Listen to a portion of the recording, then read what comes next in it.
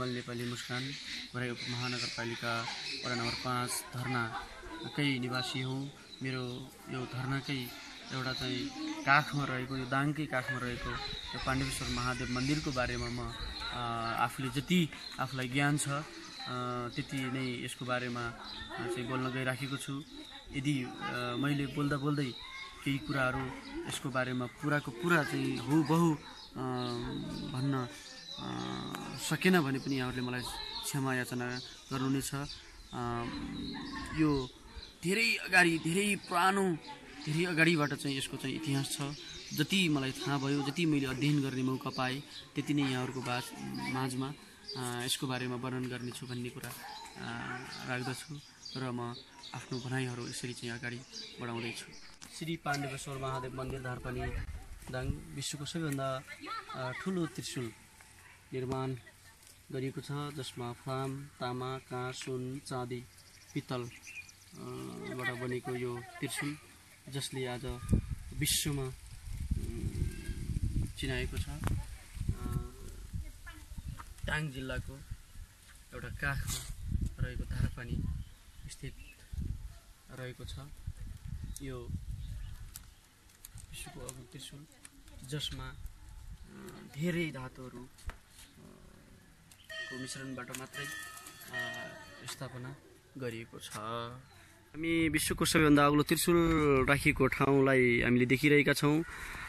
विश्वमा नभएको अग्लो त्रिशुल पाण्डेश्वर महादेव धारपानी मन्दिरमा स्थापना गरिएको छ जसको जसमा फ्लाम सुन चाँदी तामा काँस को मिश्रणबाट समावेशबाट बनाइएको यो अग्लो त्रिशुल वास्तवमै विश्वलाई चिनाउन सफल त्यसमध्येमा पनि दाङको अति नै सुन्दर जसलाई दाङको उपत्यका सम्पूर्ण उपत्यकालाई चाहिँ अवलोकन गर्ने ठाउँमा राखिएको यो धारपानी मन्दिरको यो अग्लो त्रिशुललाई हामीले यति बेला अवलोकन गरिरहेका छौँ। अहिले यति बेला हामी यो साँझको रूपको एकदमै चाहिँ विश्लेषण गर्न म गइराखेको छु। यहाँनिर यो देखिरहनु भएको छ यहाँहरूले यो साँझको रूप। यो त्रिशुल राख्ने क्रममा यहाँ ठाउँ अलिकति चाहिँ चौडा बनाउने क्रममा यो त्रिशुल स्थापना गर्ने क्रममा यो यहाँनिर धेरै चाहिँ डोजरहरू धेरै जेसिबीहरू लगाएर यो साजको रुखलाई फाल्ने कोसिस गरियो। तर दुई तिनवटा चाहिँ जेसिबीका चाहिँ दाँतहरू टुट्न फुट्न सकि गयो। तर पनि यो साजको रुखलाई जस्ताको तस्तै भोलिपल्ट आउँदा पनि जस्ताको तस्तै रूपमा देख्न गयौँ हामी। त्यसपछि यो रुखमा केही सत्य छ भनेर यसलाई नै पूजापाठको रूपमा यसलाई हामीले अहिले गरिराखेका छौँ। जो जो अहिले हामी साजकै अ, रुख छौँ यहाँ साजको रुख अथवा यहाँ कुनै पनि रुखको आफ्नै खालको एउटा विशेषता छ। यहाँ वरिपरि मन्दिरको वरिपरि रहेका रुखहरूलाई हामीले संरक्षण गरिरहेका छौँ। यति बेला यो साजको रुख दुई तिनवटा चाहिँ जेसिबीका दाँतहरू टुट्न गए तर पनि यो रुख भाँचिएन टुटिएन यसका जराहरू उखल्ने क्रममा यो उखलिएन। त्यसैले यसलाई अब एउटा पूजापाठको रूपमा यसलाई चाहिँ ढुङ्गा चढाउने एउटा देवी गरौलवीरको रूपमा एउटा चाहिँ ढुङ्गा चढाउने को रूपमा ल्याइएको छ यो साजलाई? यति बेला हामी पाण्डेश्वर महादेव मन्दिर धारपानीमा रहेको यो ठुलो घन्ट अ, देखिरहेका छौँ। यहाँ सबै चिज जस हामी सबैभन्दा ठुलो चिजहरू रहेको ठाउँतिर हामी छौँ। अहिले हामीसँग ठुलो घन्ट हामी छेउमा छ भने यसको ठ्याक्कै पछाडिपट्टि ठुलो शङ्ख जसलाई पूजापाठको रूपमा अथवा शुभ कार्यमा बजाएर हामी चाहिँ यसलाई शुभ सङ्गीतको रूपमा चाहिँ बजाउने एउटा बाजेको रूप शङ्ख शङ्ख जसलाई शङ्ख भनिन्छ। यहाँ सबैभन्दा ठुलो शङ्ख राखिएको छ हाम्रो छेउमा। भने यसै गरी अब हामी फेरि विश्वको अग्लो त्रिशुल यति बेला पञ्चधातुले बनेको विश्वको सबैभन्दा अग्लो त्रिशुल रहेको यो अग्लो त्रिशुलले अहिले यो पाण्डवेश्वर महादेव धारपानी मन्दिर को छुट्टै एउटा शान अ, दामको छुट्टै एउटा शान शान विश्वको छुट्टै एउटा अ, जगाएको छ।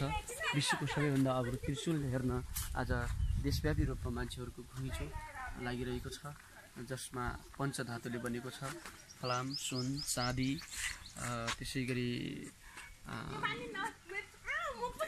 फलाम सुन चाँदी त्यसपछि पित्तल त्यसपछि यी पञ्चधातुले बनेको विश्वको सबैभन्दा अग्लो त्रिशुल जसले यो विश्वकै अन्त डाङको ठुलो सान बढाएको छ यति बेला। अब हामी यति बेला पाण्डवेश्वर मन्दिरको सबैभन्दा महत्त्वपूर्ण मन्दिर मुख्य मन्दिर जो साजकै रूप छ त्यहाँ पनि विशेषता हामी त्यहाँ पुग्दैछौँ।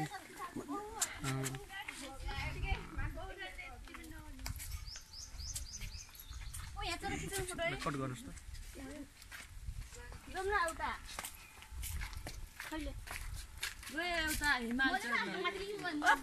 यति बेला अब हामी यो पाण्डवेश्वर महादेव मन्दिरको अत्यन्तै महत्त्वपूर्ण मन्दिर मेन मन्दिरका रूपमा चिनिएको पाण्डवेश्वर महादेव मन्दिरतिर हामी लाग्दैछौँ। यति बेला केही धर्मावलम्बीहरूले पूजा पाठ गरिरहनु भएको छ। कसैले पूजा गरिरहनु भएको छ कसैले फोटोहरू लिइरहनु भएको छ। वास्तवमै यो मन्दिरको आफ्नै खालको पौराणिक एउटा चाहिँ इतिहास बोकेको मन्दिर छ यो। वास्तवमा त्यो मन्दिरले घेरिएको त्यो साजको बुढा जसलाई दिउँभरि दिनभरि एक दिनभरि लगाएर काट्दा पनि हामी त्यहीँ पुग्दैछौँ। अब हामी त्यहीँ गएर त्यसको बारेमा हामीले त्यसको बारेमा चाहिँ विश्लेषण गर्नेछौँ। आदरणीय धर्मावलम्बी महानुभावहरू हामी यति बेला पक्कै पनि एउटा इतिहास बोकेको ठाउँ विश्वले नै एउटा चाहिँ धार्मिक धर्मावलम्बीहरूको चाहिँ एउटा सूची बनाएको ठाउँमा प्रवेश गर्दैछौँ।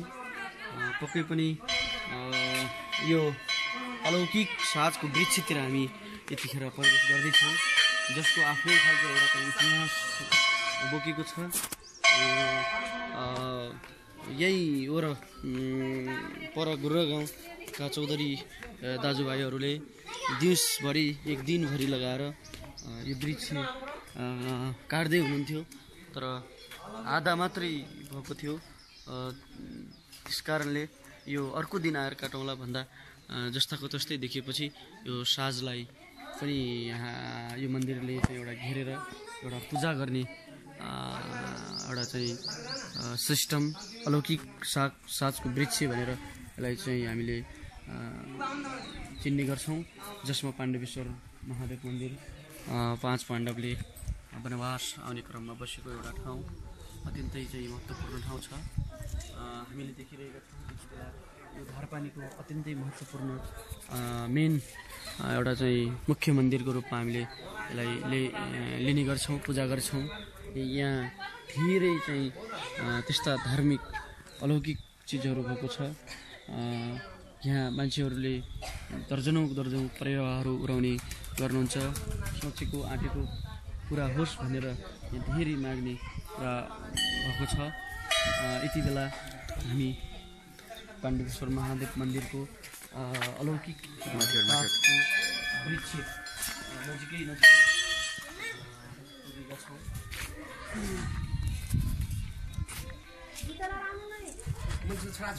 यति बेला यो अलौकिक साजको पूजा भइरहेको छ। र यो पाण्डवेश्वर महादेव मन्दिरको आफ्नै खालको एउटा इतिहास बोकेको यो महत्त्वपूर्ण एउटा वृक्ष साजको वृक्ष पाण्डवेश्वर महादेव मन्दिरले यसलाई घेरेर राखेको छ। यसको आफ्नै किसिमको इतिहास छ।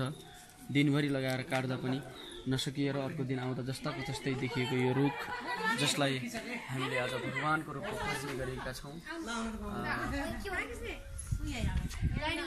शिविनहरू पक्कै पनि हाम्रो यो पाण्डवेश्वर महादेव धारपानी मन्दिरमा रहेको अत्यन्तै महत्त्वपूर्ण अत्यन्तै अलौकिक अ, अलौकिक एउटा चाहिँ धार्मिक मध्येमा शिवलिङ्ग यहाँ एक सय आठवटा शिवलिङ्ग छ जसलाई राउन्डिङ गरेर गणना गऱ्यो भने आफूले सोचेको आँटेको पुग्छ भन्ने खालको एउटा धर्म ग्रन्थ अनुसार रहेको हुनाले यहाँ एक सय आठवटा शिवलिङ्गलाई अवलोकन गर्ने हामीले यति बेला गरिरहेका छौँ।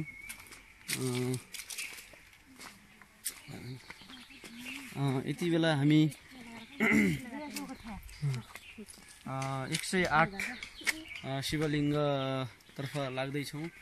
यहाँ एक सय आठवटा शिवलिङ्गलाई गणना गर्दै अ, ढोग्दै गयो भने आफूले चाहिँ आँटेको कुराहरू पुरा हुने एउटा धार्मिक इतिहासले बोकेको कुराहरूलाई हामीले यहाँ अवलोकन प्रत्यक्ष रूपमा अवलोकन गरिरहेका छौँ। हामी आफै पनि अ, यति बेला यी शिवलिङ्गहरूलाई गणना गर्दै परिक्रमा गर्दैछौँ यति बेला यहाँहरूले देखिरहनु भएको छ। अलिकति र यहाँ धेरै चाहिँ सर्पहरूको नागहरूको पनि फोटो हामीले देखिरहेका छौँ। यति बेला यो धेरै चाहिँ महत्त्वपूर्ण पक्कै पनि यहाँहरूले अवलोकन गरिरहनु भएको छ देखिरहनु भएको छ। हामी प्रत्यक्ष रूपमा यसलाई अवलोकन गरिरहेका छौँ एक सय आठ शिवलिङ्ग जसमा पूजापाठ गरिने गर्छ। र यति बेला हामी एक सय आठ शिवलिङ्ग अ, लाई परिक्रमा गरेर हामी चाहिँ अन्यत्र फेरि कुनै अर्को ठाउँमा चाहिँ प्रवेश गर्दैछौँ।